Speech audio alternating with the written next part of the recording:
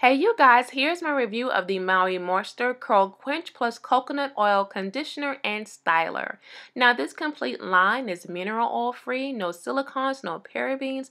It is gluten free. It is also vegan friendly and eco friendly. Now I purchased both products at my local Walmart for $6.97. You cannot beat that price for the ingredients, okay?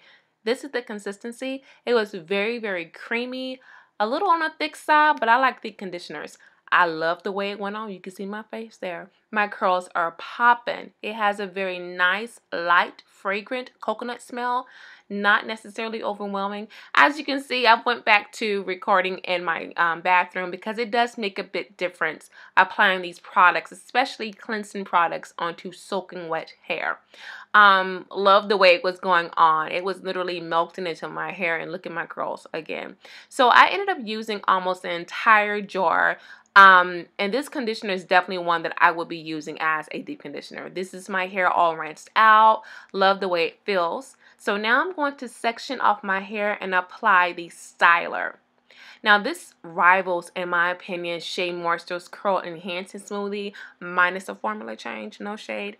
But love this all the same as it went on. Now I'm going to come back on cam after a few days, um, after allowing my hair to air dry to let you guys know how I really feel about the leave-in conditioner. It also duals as a styler, which I will be reviewing in a separate video, okay?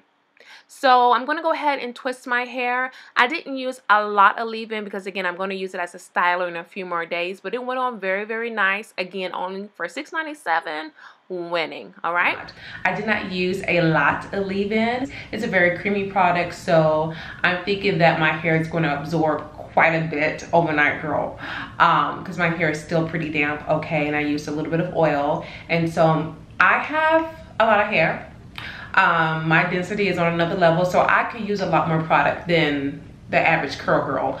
Um, yeah, I've used like one fourth of a cup of the product already. So I will see you guys in the So morning. hey you guys, I wanted to come back on cam um, because it's now been two days since my wash day and since I applied the uh, coconut styling smoothie. I have some residue you see this? Let me tell you what happened.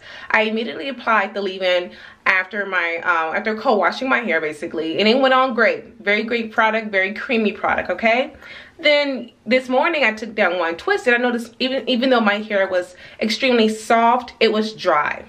So I decided to apply the leave-in to my twist, which I do quite often. However, it started to get a little bit of um, I don't know if you can really see it in here you see that right there? Just a little bit. So overall, the rinse out conditioner is one of the best conditioners that I have used. And I've used a lot of products, girl. One of the best ever.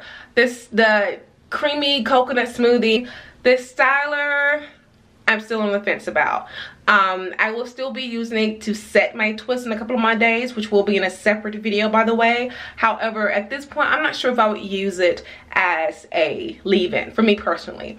Now, I find that this line is best suited for three category chicks, but absolutely if you're for A, B, C, D, E, F, G like me, um, the co-wash is fabulous. By the way, I did see that they have a hair mask, basically a deep conditioner, and they carry a hair oil.